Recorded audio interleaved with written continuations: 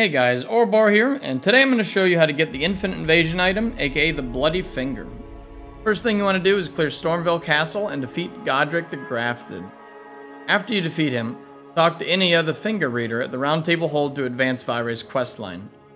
Then you'll want to find Varre, the Rose Church, located directly south of Raya Lucaria. Talk to him, and he'll give you five festering bloody fingers. Use three of the fingers to invade, then return to him to continue his questline.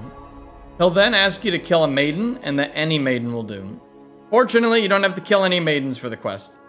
Head to the four belfries northwest of Raya Lucaria. Open the chest to obtain the imbued sword key, and open the belfry portal labeled Precipice of Anticipation. Kill the boss and head toward the chapel where you started your journey to find the maiden's corpse. If you've already used your imbued sword key on another belfry portal, you can instead head to the Church of Inhibition just south of the Grand Lift of Dectus. Here you'll find another dead maiden to continue the quest.